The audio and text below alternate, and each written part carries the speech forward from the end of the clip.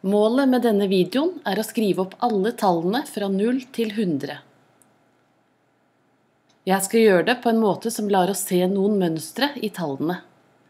Så la meg starte med 0, 1, 2, 3, 4, 5, 6, 7, 8 og 9.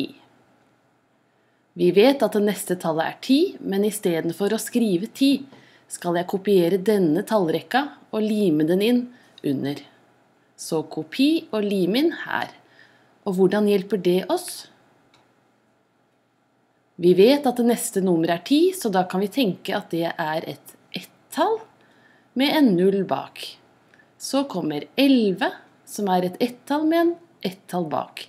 Så kommer 12, som er et ett-tall med et totall bak. 13, 14, 15, 16, 17, 18 og 19.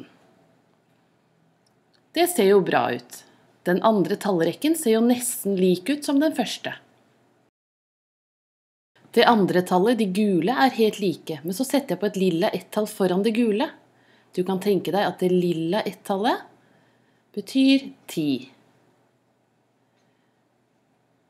Da kan du se for deg at 11 blir 10 pluss 1. 12 er egentlig 10 pluss 2. La oss se om tallene følger samme mønster. Her er en ny rad med tall. Den er helt lik som de andre to rekkene. Hva kommer etter 19?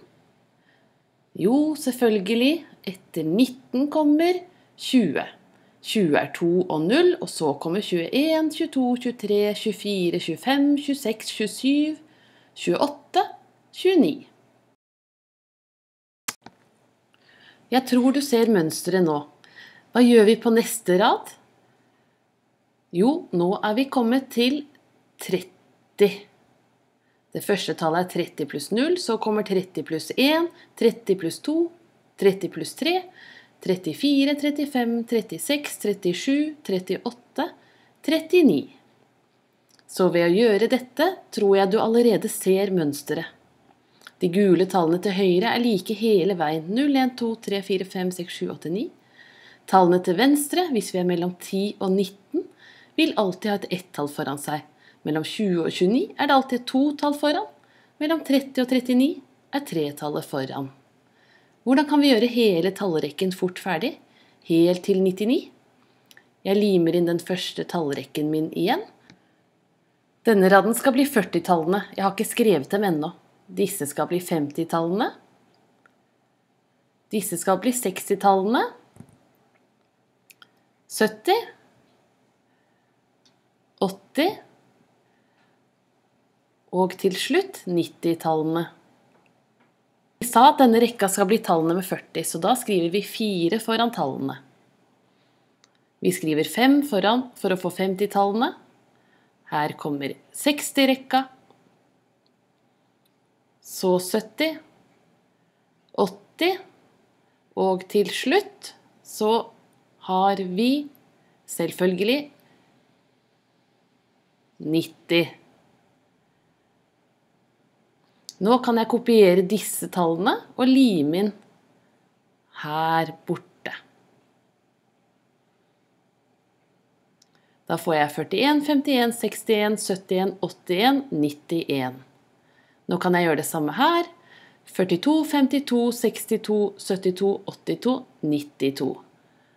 Nå gjør jeg det samme på resten. 43, 53, 63, 73, 83, 93. Nå ser du at vi snart har hele mønsteret. Og jeg er snart ferdig med å skrive ned alle tallene fra 0 til 99.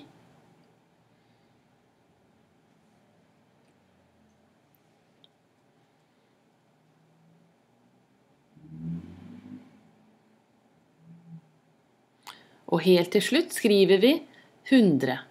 Og da ser du at vi fortsatt har et fint mønster.